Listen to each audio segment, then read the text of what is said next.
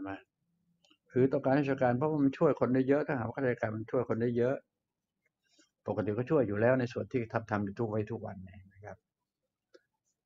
ก็ช่วยกันอยู่แล้วโดยปกติเรื่องสุขภาพเรื่องของร่างกายแม้กระทั่งเรื่องของ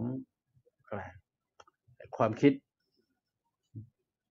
ความคิดเรื่องของสติปัญญาธรรมดาธรรมดานี่นะครับ ไม่มีอะไรมากหรอกครับก็ช่วยกันอยู่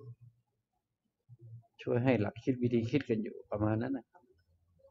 อันนี้ก็ไม่ได้ย่อท้ออยู่แล้วขอให้มีเวลาเถอะก็ไม่ค่อยจะเร่งรัดเวลาสักใครสักเท่าไหร่นะครับพูดไปพูดมามันก็จะเหมือนกันมายกตัวเองให้ฟังกันนะครับ ก็ไม่รู้จะว่าอยังไงล่ะครับเอามีอะไรเพิ่มเติมไม่มีเนาะสี่ทุ่มแล้วนะเชียร์นะเชียร์แล้วลุงจะไปไหนต่อ เมื่อกี้นี่จบไปอย่างเนี่ยอธิบายเรื่องนี้คิดว่าน่าจะพอแล้วมั้ง ตายแล้วไปไหน เกิดแน่นอน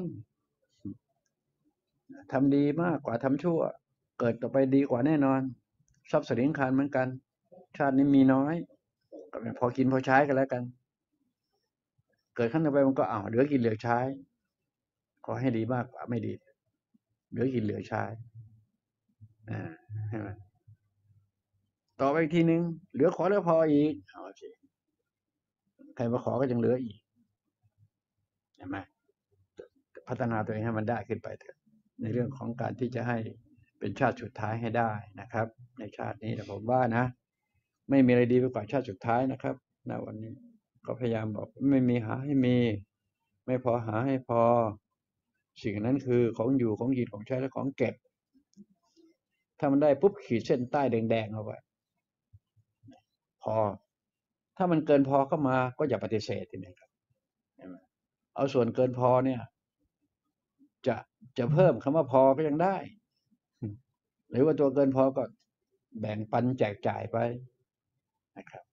พออะไรล่ะเพราะบางคนที่มีบริวารบาดเครือใช่ไหมล่ะครับ ก็ต้องเผื่อแผ่คนบริวารด้วยครับ ใช่ปะคำว่าพอที่ว่าเนี่ย